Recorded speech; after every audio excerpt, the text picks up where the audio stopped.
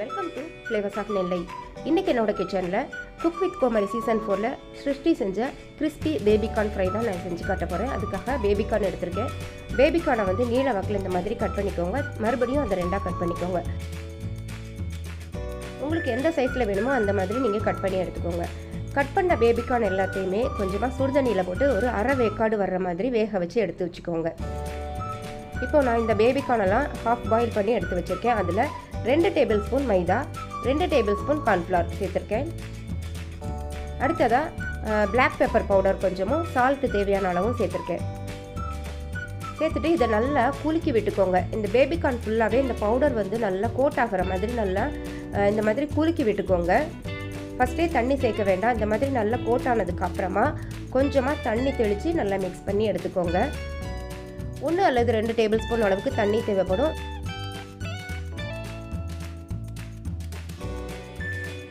தண்ணி சேர்த்து மிக்ஸ் பண்ணதுக்கப்புறமா பேபிகார்ன் இந்த மாதிரி இருக்கணும். இந்த பேபிகார்னில் ஃபுல்லாமே மாவு இந்த அளவுக்கு கோட்டாக இருக்கணும் இப்போ இதை ஆயிலில் ஃப்ரை பண்ணி எடுத்துடலாம். ஆயில் நல்லா ஹீட் ஆனதும் ஃப்ளேமை கொஞ்சம் குறைச்சிட்டு மிதமான சூடில் இந்த பேபிகார்னெல்லாம் நல்லா ஃப்ரை பண்ணி எடுத்துக்கோங்க. நல்லா ரெண்டு பக்கமும் நல்லா திருப்பி விட்டு நல்லா பொன்னிறமாக வர்ற வரைக்கும் நல்லா கிறிஸ்பியாக வர்ற வரைக்கும் ஃப்ரை பண்ணி எடுத்துக்கோங்க. இப்போ பாருங்கள் பேபிகார்ன் எல்லாம் நல்லா கலர் சேஞ்ச் ஆகிருக்குது நல்லா கிறிஸ்பாகவும் வந்திருக்கு. இப்போ இதை எடுத்துட்டு மீதம் இருக்கிற பேபிகார்னையும் இதே மாதிரி நம்ம ஃப்ரை பண்ணி எடுத்துக்கலாம். அடுத்ததாக ஒரு பேன் வச்சுருக்கேன். அந்த பேனில் கொஞ்சமாக எண்ணெய் சேர்த்துட்டு எண்ணெய் நல்லா சூடானதோ அதில் கொஞ்சமாக நல்லா குட்டி குட்டியாக கட் பண்ணி வச்சுருக்கிற பூண்டு சேர்த்துக்கலாம். சைனீஸ் டிஷ்லலாம் பார்த்திங்கன்னா இந்த மாதிரி கார்லிக் வந்து நம்ம ஃப்ரை பண்ணி எடுக்கும்போது அதோட ஃப்ளேவர் நல்லாயிருக்கும் அடுத்ததாக ஒரு பெரிய வெங்காயம் சின்ன சின்னதாக கட் பண்ணி வச்சுருக்கேன். அதையும் சேர்த்துக்கலாம். சேர்த்துட்டு இதையும் நல்லா வதக்கி விட்டுக்கலாம். வெங்காயம் கொஞ்சம் வதங்கினதும் அதில் ஒரு டேபிள் ஸ்பூன் அளவுக்கு டொமேட்டோ கெச்சப் சேர்த்துக்கலாம்.